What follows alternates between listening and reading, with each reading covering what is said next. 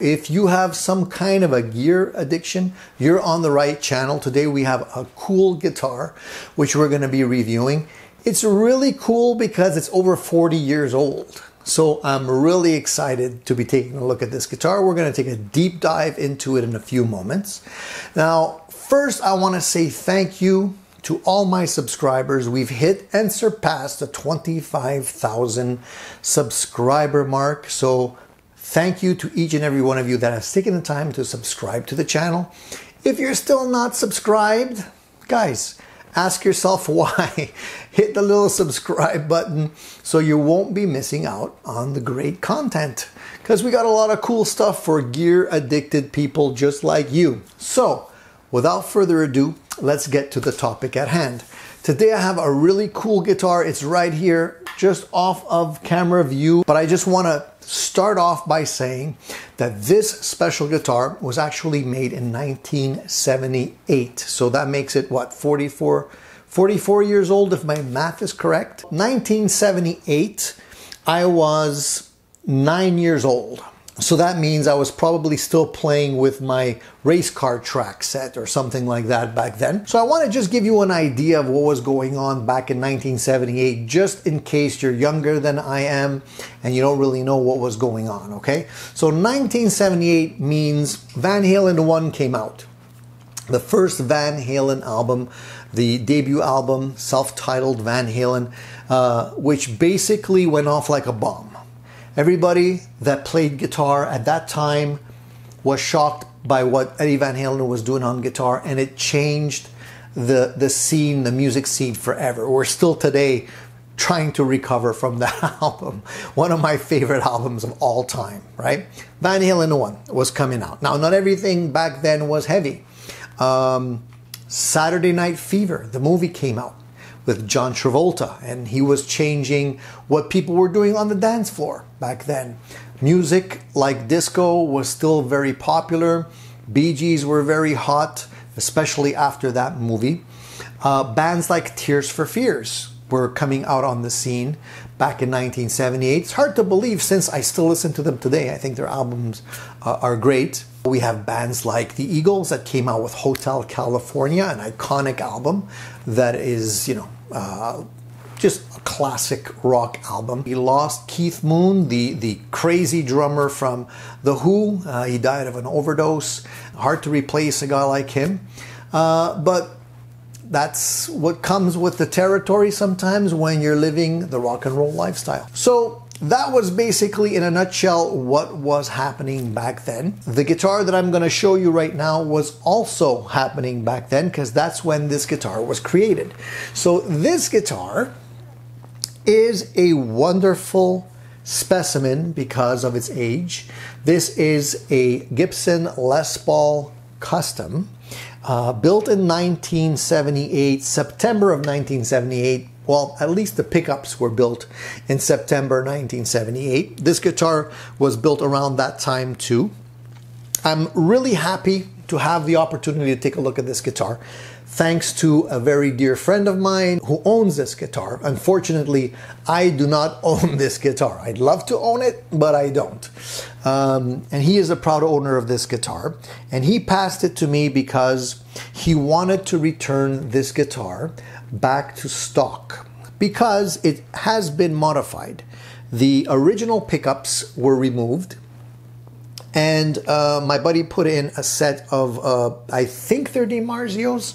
I'm not really sure actually. I haven't actually taken them out to take a look. Regardless, we're going to be replacing these pickups and putting in the original stock pickups back in the guitar. Now, I don't really know what the stock pickups are. I've taken them out and I'll share a picture of the backside of these pickups with you. If any of you out there know what these pickups are, please let me know. I have a feeling they're T-tops, but I'm not 100% certain on that. So if you are an owner of one of these guitars and you have more information than I do, please give me a comment and let me know what they are because otherwise I'm not 100% certain. I'm leaning towards T-tops. I like that to be confirmed if possible. We're going to be returning this guitar back to stock, which means I'm going to be taking out the more modern pickups, putting in the original pickups, and then we'll be doing a follow-up video where I'll be recording a sound sample of both of those pickups, the original pickups that were supposed to be in this guitar, as well as the pickups that are in there now, and you'll be able to hear side by side an A-B comparison of both sets of pickups and let me know which ones sound better. So we're not going to be doing a sound sample in this video. We're going to save it for that one. I think it's going to be pretty cool. And I might even throw in a wild card in there just to make things even more spicy. And I'll get to that at the end of the video. All right, so let's take a look at what this guitar is all about. The Les Paul Custom actually came out after the Les Paul. It was released a few years after the Les Paul, and it was actually meant to be a higher end guitar. They chose to go with gold hardware and uh, ebony fretboard and just the binding all around the headstock and whatnot. Uh, it made it a very sexy looking guitar. It's often uh, been referred to as a tuxedo guitar because of the black and white, you know, that you have around the edges and the trim. Because it is double bound, uh, the guitar definitely looks hot. One of the things I really like about this guitar is that no matter what kind of style of music you're playing, whether it's hard rock, whether you're playing in sort of a very sophisticated band or ensemble, it, it fits almost everywhere. It just looks the part no matter what you're trying to do. And looks awesome, I gotta say. Now, for a uh, 40 plus year old guitar, it is a great example of how nicely these guitars can age. There's no ugly checking, there's no unsightly buckle rash where the paint is peeling off in the back. There is a little bit of buckle rash. You can probably see it if I catch the light just right, but it's not excessive. There's no major paint missing on this guitar but it has aged really, really well. One of the things that you'll notice on these older guitars is the fact that the gold hardware does um, sort of wear a little bit prematurely. Mind you, the age of the guitar uh, justifies the wear, but the gold hardware always ages quicker. It just does. The sweat on the palm of your hands rubbing against the gold just makes it um, patina a little bit quicker. Uh, as you can see on this one, the gold finish coming off on the posts. You do have some pitting uh, in the uh, metal for the stop tail and the bridge, but that's normal for gold hardware. I've seen that many, many times.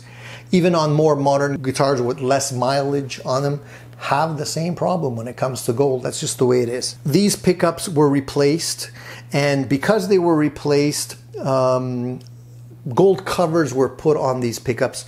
The pickups were not originally covered. They were uncovered pickups, but it didn't look right. So my buddy uh, put on some uh, pickup covers. These covers have not been soldered in place, so they're actually just popped in there. So if I press down on the pickup cover, you'll see that it's it actually, you know, moves. Um, and you can also see that the pickup covers don't really match the pickups. Uh, the pole pieces are not matched very well. So we're gonna fix all that when we put the old pickups back in. I have measured the output on them and the neck pickup is about 7.3, 7.4K. The bridge pickup is about 12.7K, quite a bit hotter. The original pickups that we're gonna be putting back in are about 7.5, both the neck and the bridge. So more like vintage type output. So I'm very curious to see what kind of sounds we're going to be getting out of those, okay? But I have a feeling they're going to sound great. This pickup uh, configuration is not out of the ordinary for what was being put out at the time with Gibsons. They have gone through a few different types of pickups before 1978 and after 1978. So that's why I'm kind of asking some help on identifying these pickups. So if you take a look at them, you'll see the pickups do have a date stamp on them and they do have a patent number on them. So if you guys know what that represents in terms of model, please let me know. So one of the cool things about this guitar is definitely the fact that it has an ebony fretboard. There's just something sexy about a really dark ebony fretboard. Um, and this one is beautiful, I have to say. Now, the inlays are typical block inlays that we see on a lot of guitars. Uh, they're not the trapezoid like you would see on Les Paul, so it is slightly different. Very nice. The binding on this is typical where the nibs do go over the frets on the guitar. Many times these guitars have been referred to as fretless wonders. Why do they call them that? Because um, in certain models, the frets were very wide and very low, which made them feel almost like they didn't have any frets. That's why they would call them fretless wonders. Now this guitar, because it has so much mileage on it, I'm not really sure if the frets are low because of that and just maybe it's about ready for a fret job or if that's the way they originally were. I have a feeling it's a little bit of both, uh, but it still plays really well no issues with the fretboard and it's very very comfortable i was amazed to see how uh, the neck was so um, thin back to front. It really is one of the thinnest Les Pauls that I've tried. Um, I was actually shocked. I was, I was expecting a much more beefy neck, and it's not beefy at all. So it really plays extremely well. It's very comfortable to play. That being said, the weight of the guitar, on the other hand, make it feel like a boat anchor, okay? This is probably the heaviest Les Paul guitar that I've held in my hands.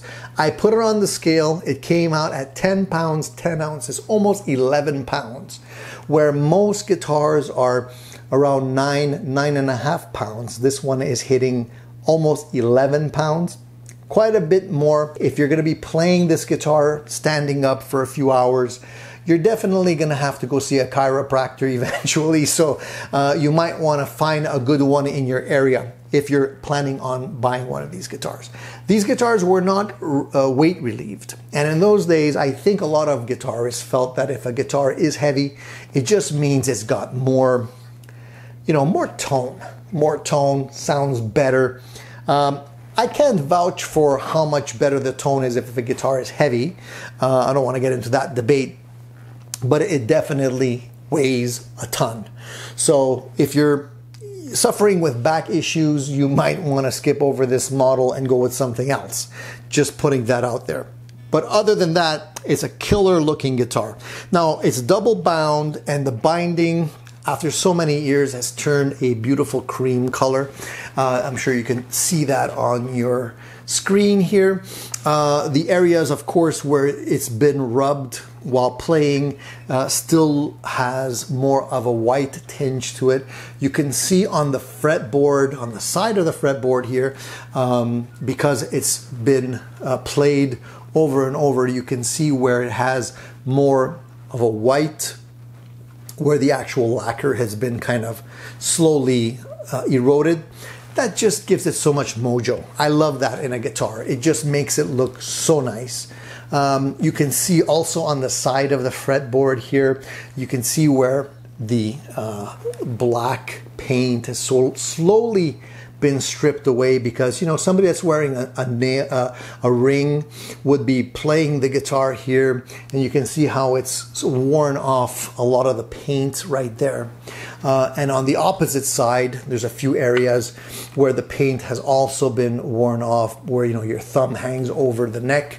Um, you know it's not excessive wear.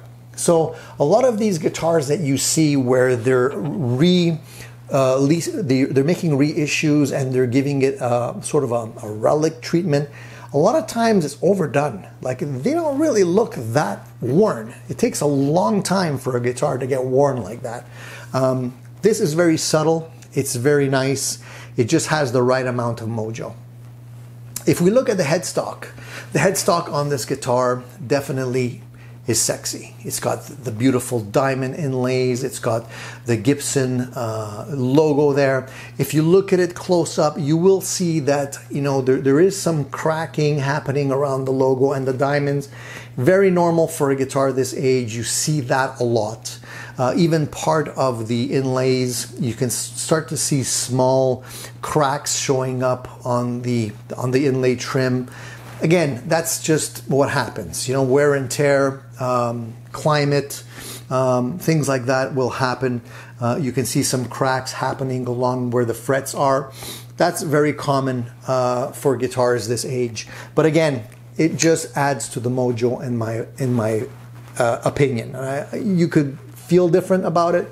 I love that look. This guitar also has a little secret. It, it, actually is a second. So if you look here underneath the serial number, it's actually stamped second and there's no made in USA stamp. So they weren't actually stamping these guitars with the USA um, letters yet in 1978. It came a little bit later. So what does that mean? If the guitar was stamped as a second, does that mean it's a dud? Um, actually, no. It's very common to see some of these older guitars stamped as seconds. And what that basically means is that there was some sort of a blemish on the guitar. And unlike today, where they just blemish or not, they just put it on the shelves and try to sell them uh, and hope you don't notice. In those days, they were actually marking them as seconds, and I think they were actually selling them at a discount. Um, that doesn't necessarily mean the guitar is no good. Far from it. In actual fact, I think some of the guitars you'll probably see today should be stamped as, a, as being a second because they're not all great, let's face it. Uh, but they don't do that anymore. If you come across one of these older guitars and you see second stamped on it, don't worry, it's still a great guitar. Most of the time, those blemishes that were originally there, you probably would not even be able to find them.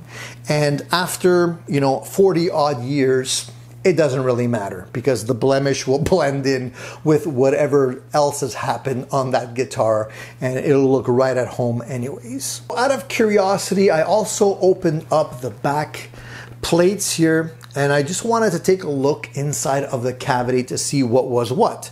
And lo and behold, this cavity actually has a big metal or metallic cover that goes on top of it and looks like sort of an ash, ashtray cover, I'll call it that, that's held in place by two screws.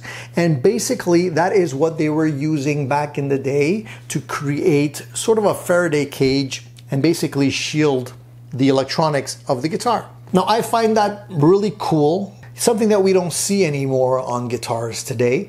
And they didn't it didn't look like they were cutting corners at that time because you know it's extra money for sure to do something like that. And um, i was actually surprised to see that in there. I opened up the switch cavity here as well. And there's also a cylindrical metallic metal piece that's inserted into there. And the ground wires actually soldered to that metallic uh, wall. And I guess that's the same idea for the switch, uh, allowing them to sort of uh, avoid hum or 60 cycle hum. Even though these are humbucker uh, pickups, that's, I guess, the type of shielding that they were using back in the day. Now, you don't really see that today anymore. Nowadays, we use, um, you know, methods that are a little bit more economical. But in, in the day, that's basically what it was, status quo. So if you buy one of these guitars and you see that in there, um, that's what it's supposed to look like. So it's pretty authentic. Now, as far as the knobs and controls go, it's pretty much standard two tones, two volume knobs, no uh, fancy switching or anything like that. Very straightforward. And fun fact, this guitar was created after the Norlin era, right? So for those of you who know what that means, um, during the Norlin years, the guitars were considered to be not as good, uh, probably not as well made as they were after that period. So this guitar falls into the period right after the Norlin era. So it's considered to be a good one. I don't know how much of a difference that actually makes, but just a fun fact I wanted to throw out there for you guys. Now, if you're interested in getting one of these guitars, you have a couple of choices. You can either go with a reissue, because Gibson has reissued these guitars, um, or you can maybe hunt on eBay or Reverb or some other sites where they're actually selling the originals. If it was up to me and I could afford it, I would definitely go for the original because you're actually getting, um, you know, a timepiece. Whereas the reissues look the part, but I just don't feel like they're to have the same amount of mojo. So it's really up to you. The cost on these guitars nowadays will range between $8,000 and I've seen them as high as $12,000 depending on the condition and the age. Um, you know, this kind of condition I would say is very good for the age. I've seen a lot of other guitars that are selling for more that are not necessarily in, in very good condition. You can see there's a lot of checking going on. There's a lot more issues with the guitars. So you definitely want to take a good look at the guitar before you drop that kind of money. Um, I wanted to open up the truss rod here just to show you um, what that looks like, but unfortunately, it looks like somebody before me kind of um, uh, stripped the screws and I didn't want to mess around with it too much, so I'll leave that for another time. Uh, I did want to give you a close-up shot of the uh, nut on this guitar. You can see how low it is. It's actually just slightly higher than the first fret. So it's really interesting to see that because the, the more modern guitars definitely have a larger nut on them. Um, other than that, the back of the headstock looks really cool, tulip style uh, tuners. Now it's funny that the tuners um, looks like they've uh, withstood um, the wear and tear a lot better. They're, they're, they're not as uh, worn in terms of the finish uh, on the actual uh, knobs. It's funny because the knobs still look like they're pretty nice and shiny, but the back of the uh, the tuners look a little bit more um, matte in color for some reason. I don't know why, but it's it, it is what it is. A really nice guitar. I can vouch for how nicely it plays. Um, definitely would be a beautiful guitar to add to any collection. If you can find one of these, you definitely want to snag it up if you have the budget for it. I think you will be happy to own one of these guitars and they're just going to keep on going up in value. So as a second part to this video, I will be doing a shootout uh, with these pickups and the original pickups as I mentioned. I'll probably also give you some uh, gut shots of the cavities as I do the pickup upgrade and will definitely be able to provide you with an A-B sound clip so you can hear the same thing being played on the guitar one after another so you can actually hear the difference a little more. I think it would be pretty cool if we can take the guitar, do the sound samples as I mentioned, and perhaps throw in a wild card. The wild card that I'm talking about is this guitar, which is basically a copy of that guitar. Can you tell the difference? Which one is which? Well, this is the original Gibson, um, and this is my Tokai, uh, which is basically a knockoff or a replica of this guitar. Very similar guitars.